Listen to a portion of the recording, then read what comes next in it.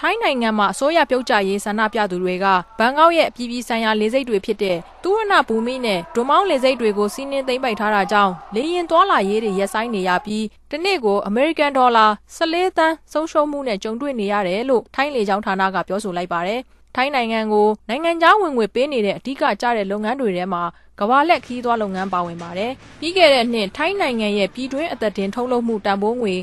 အမေရိကန်ဒေါ်လာတန်ပေါင်း15000ကျော်ရဲ့ 6.5ရာခိုင်နှုန်းဟာကဘာလက်ခီးသွားလုပ်ငန်းကရတာဖြစ်တယ်လို့ကဘာဘဏ်ကခန့်မှန်းပါတယ်။နှစ်စဉ်နှစ်စဉ်ကဘာလက်ခီးတဲ့ရောက်ရှိနှုန်းဟာ9ရာခိုင်နှုန်းနဲ့10ရာခိုင်နှုန်းကြားတိုးပွားလာနေတယ်လို့ထိုင်းခီးသွားလုပ်ငန်းအာဏာပိုင်အဖွဲ့ကဆိုပါတယ်။ပြီးခဲ့တဲ့2009ခုနှစ်မှာခရီးသည်ပေါင်း14.8တန်းကျော်ရှိတယ်လို့ဆိုပါတယ်။2006ခုနှစ်ကထက်စာရင်10တန်းကျော်တိုးလာတာပါ။နိုင်ငံရေးမတည်ငြိမ်တာကြောင့်ကဘာလက်ခီးသွားလာရေးနဲ့ဆက်ဆက်နေတဲ့လေကြောင်းလုပ်ငန်းတွေတွေမကပဲဟိုတယ်နဲ့ခီးသွားလုပ်ငန်း တက္ကစီလုပ်ငန်းစတဲ့စီးပွားရေးတွေကိုပါထိခိုက်ရပါတယ်။တက္ကစီကားမောင်းပြီးစီးပွားရှာနေတဲ့ထိုင်းနိုင်ငံသားတဦးကအခုလိုပြောပါတယ်။ฟังข่าวจากวิทยุมาว่า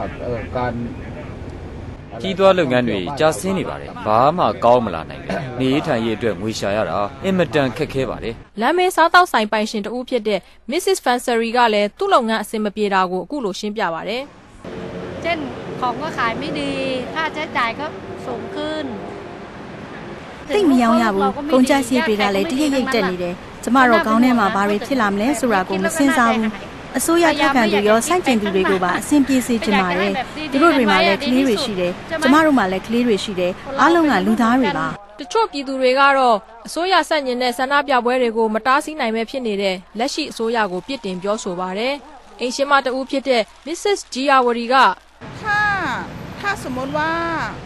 ออ คุณมีปัญหาเกี่ยวกับการเมืองใช่ไหมคะคุณก็ต้องใช้กฎหมายแก้ไม่ควรจะมาทำอย่างนี้ให้คนอื่นเขาเดือดร้อนကျမလက်ရှိအခြေအနေကိုနည်းနည်းမှမကြိုက်ပါဘူးအားလုံးကမောက်ကမတွေဖြစ်နေပြီးပြည်သူတွေကလည်းဒုက္ခရောက်နေကြပါပြီအစိုးရကစန့်ကျင်ဆန္ဒပြနေတဲ့ PAD ကိုဘယ်လို့မှတားလို့မရဘူးဖြစ်နေတယ်ဒီအတိုင်းဘယ်လို့ဆုံးဖြတ်ချက်မျိုးကိုမှမချနိုင်ရင်တော့ဒီအတိုင်းဖြစ်နေအောင်ပါပါ